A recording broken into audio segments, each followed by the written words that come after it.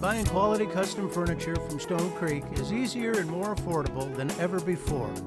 Start out with a single bookcase, make it a double. How about three? Let's go wall to wall. Need some storage? Add doors, add drawers. Hey, I got an idea. Media wall. Too dark?